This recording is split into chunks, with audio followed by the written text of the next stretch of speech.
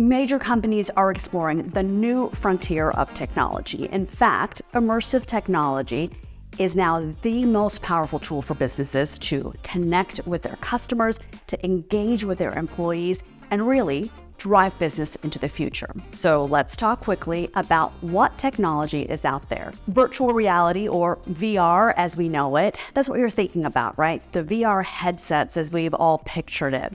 Now, VR technology is being used by companies in the B2C industry to create these immersive experiences. For example, architects, they're building 3D designs and then actually putting people into the space where they can explore an environment.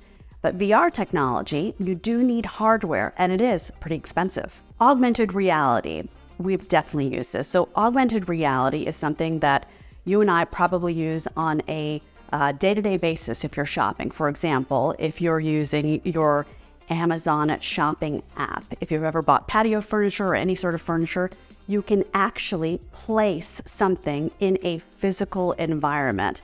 That's another great way that companies in the B2C industry are using augmented reality to create these immersive experiences for their customers. Mixed reality, this is essentially blending the virtual and physical to create an environment where people can actually practice and go through an experience. For example, onboarding, companies are using mixed reality to create a safe and controlled environment to practice skills.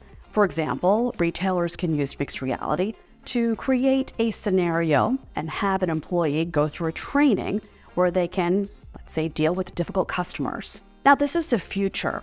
Immersive experiences are what's helping businesses create experiences for their customers, connect with their employees, and again, drive business into the future. Now, I know this can sound intimidating. You're picturing VR headsets, wearable technology. And the truth is, while wearable technology has capabilities and there is going to be possibilities for this to be used widely, we're just not there yet. Now, wearable technology is expensive.